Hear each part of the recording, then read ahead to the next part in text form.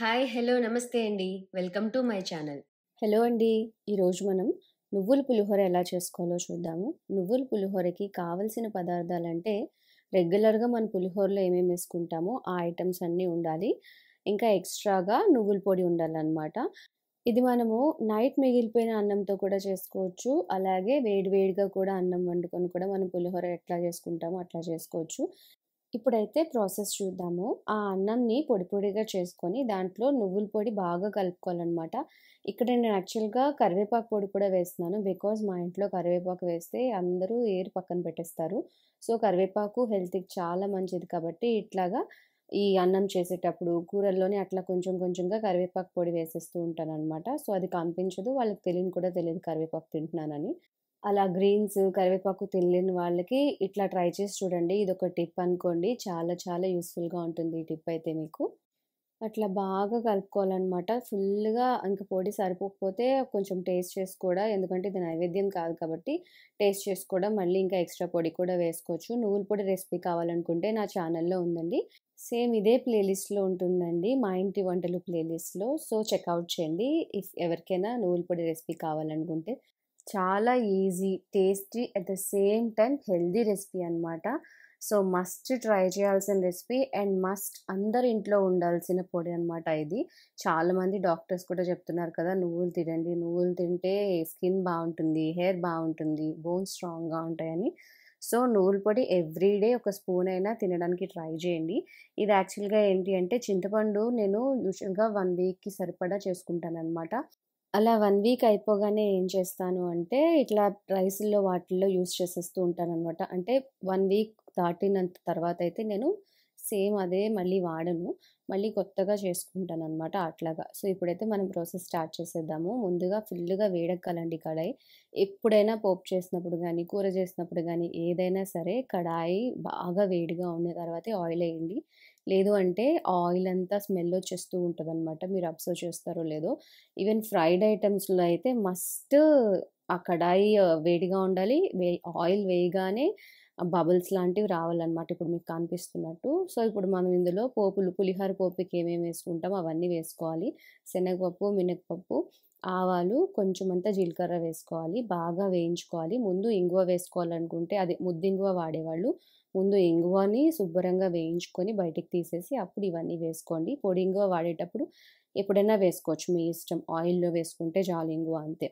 So, ఇప్పుడు బాగా వేగిన తర్వాత పప్పులు వేగిన తర్వాత జీడిపప్పు వేసుకోండి. జీడిపప్పు యాక్చువల్‌గా నేను ఒక్కొక్కసారి ఏం చేస్తానంటే ముందు వేయించేసి పక్కకు తీసేస్తాననమాట. బికాజ్ నాకు ఎక్కువ పులిహోర చేసేటప్పుడు అట్లా చేస్తాను. ఇది ఒక రెండు కప్పులే కాబట్టి అంత నేను ఎఫర్ట్ పెట్టలేదు. యూజువల్‌గా అయితే జీడిపప్పు అంతటికి వెళ్ళేటప్పటికి ఏంటంటే ఫుడ్ అంతా కంప్లీట్ అయ్యేటప్పటికి అవి మెత్తగా అయిపోతాయి అన్నమాట అందుకని అవి ఎప్పుడు సపరేట్ చేసేస్తూ ఉంటాను. మిగిలిన పోపులన్నీ యాజ్ యూజువల్ వేసేస్తాను. సో, అవన్నీ బాగా వేగిన తర్వాత పచ్చిమిరపకాయలు, అల్లం కొంచెం మీకు అల్లం నచ్చినా నచ్చకపోయినా కొంచెం వేసుకోండి. చాలా బాగుంటుంది టేస్ట్. సో, బాగా వేగిన తర్వాత ఈ ఎండుమిరపకాయ ఏంటంటే చూడడానికి నాకు ఇష్టం అనమాట. లైక్ పులిహోర అనగానే మనకి ఫస్ట్ గుర్తొచ్చేదే ఎండుమిరపకాయ కదండి చూడగానే అది బాగా కనిపిస్తుంది సో, ఎప్పుడైనా ఫుడ్ అనేది కళ్ళకి బాగా ఉండాలి. అట్లాగే టేస్ట్ కూడా బావుండాలనమాట. ఫస్ట్ కళ్ళకి నచ్చకపోతే అది ఎంత టేస్టీగా ఉన్నా కూడా మనం తినాలనిపించదు. తిన్న తర్వాత బాగుంటుంది కానీ ఫస్ట్ తినేటప్పుడు మనకి నచ్చదు అనమాట అందుకని మన కళ్ళకి నచ్చినట్టుగా చేసుకోవాలి. అట్లాగే మన టేస్ట్‌కి నచ్చినట్టుగా కూడా చేసుకోవాలనమాట. అప్పుడప్పుడు. ఎప్పుడూ కాదు. సో, ఇప్పుడు చూడగానే ఇది కలర్‌ఫుల్‌గా కూడా ఉంది చూసారా? సో, ఇట్లా అనమాట. ఇట్లా బాగా వేగిన తర్వాత మనము యూజ్ ముందుగా పెట్టుకున్నాం కదండి చింతపండు పులుపు. ఆ పులుపుని డైరెక్ట్‌గా వేసేసుకోవాలి. వేసేసుకొని సింపుల్ అయిపోతుందనమాట. ఎందుకంటే చింతపండు రెడీగా ఉంది. నూలు పొడి కూడా రెడీగా ఉంది.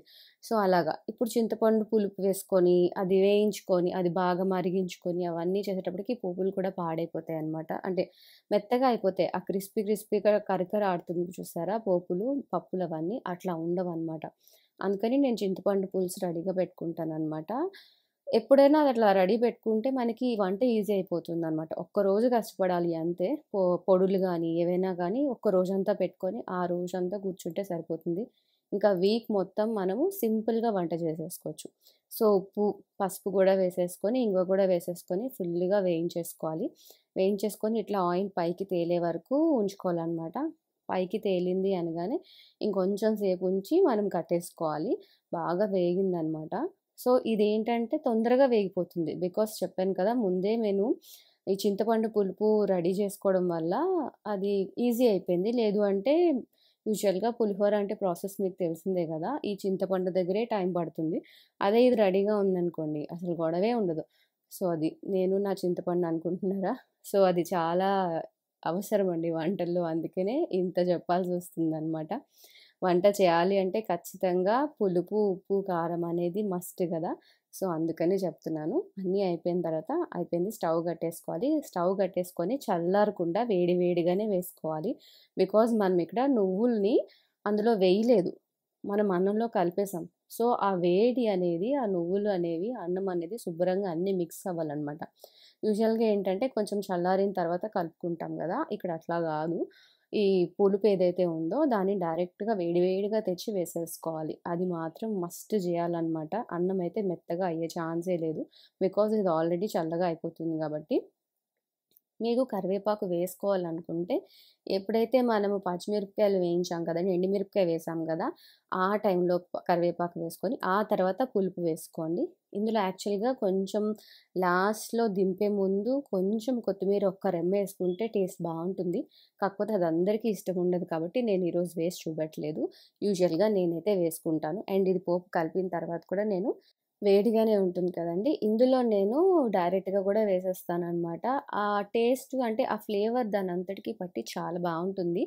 మీకు కొత్తిమీర ఫ్లేవర్ నచ్చుతుంది అంటే మస్ట్ ట్రై చేయండి. ఇదైతే పక్కా ట్రై చేయాల్సిన రెసిపీ అనమాట అంత టేస్టీగా ఉంటుంది. ఎప్పుడు నార్మల్ పులిహోర కాకుండా ఇది ఒకసారి ట్రై చేయండి. హోప్ ఈ వీడియో మీకు నచ్చింది అనుకుంటున్నాను. ఈ వీడియో మీకు నచ్చితే please do like share and subscribe to my channel అండి. థ్యాంక్ యూ అండి. నమస్తే. మళ్ళీ కలుద్దాం మంచి వీడియోతో. ఈ వీడియో మీకు నచ్చితే లైక్ చేయండి. లేదంటే కమెంట్ బాక్స్లో కమెంట్ చేయండి. బాగా నచ్చితే అందరికీ షేర్ చేయండి. ఇప్పటివరకు నా ఛానల్ని సబ్స్క్రైబ్ చేసుకోకపోతే ప్లీజ్ సబ్స్క్రైబ్ చేసుకోండి. మీకు నోటిఫికేషన్ రావాలంటే పక్కన ఉన్న బెల్ ఐకాన్ని క్లిక్ చేయండి. Thank you for watching. Bye bye